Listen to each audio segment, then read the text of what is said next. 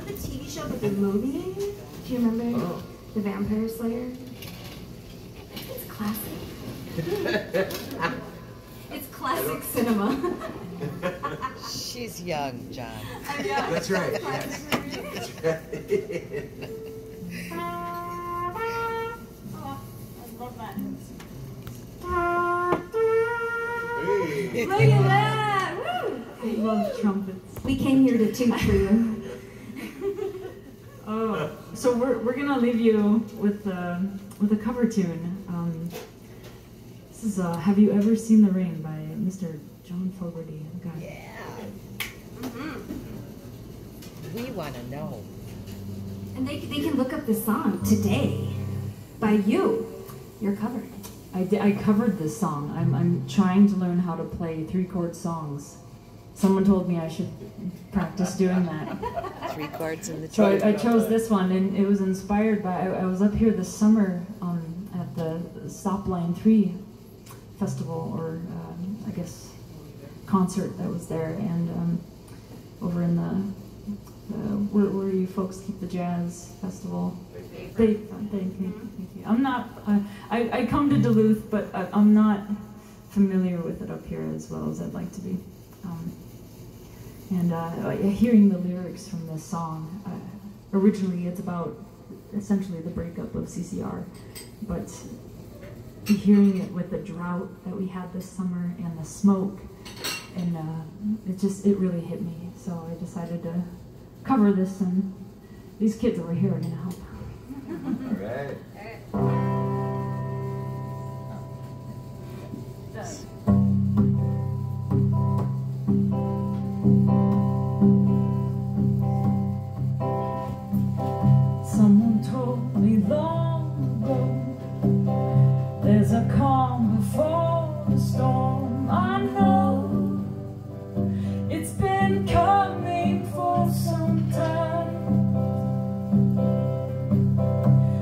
it's over, so they say it'll rain a sunny day.